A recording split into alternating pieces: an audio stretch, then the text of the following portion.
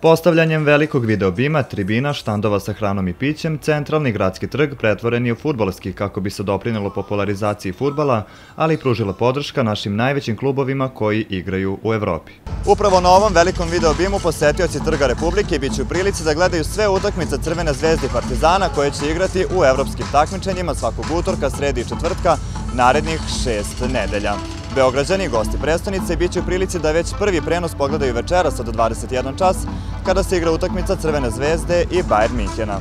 Organizatori su se potrudili da i najmlađe Beograđane zatrese futbolska groznica, pa je tako postavljen mali teren sa veštačkom travom, gde će moći da igraju futbol sa svojim vršnjacima, ali i van terena da žongliraju, šutiraju loptu, a bit će organizovane i različite nagradne igre. Ideja da se centralni gradski trg na nekoliko nedelja pretvori u futbolski naišla je na oduševljenje Beograđana. To je lepa ideja da, da ljudi vide da mi volimo sport i to je to. Baš mi drago. Super, lepo izgleda i lepo je ovako da se narod može sakupljati tu.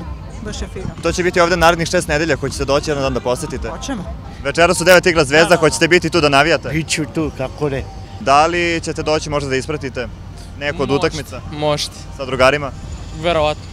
Obnovljeni trg Republike zamišljen je tako da se na njemu održavaju različite sportske, kulturne i zabavne manifestacije.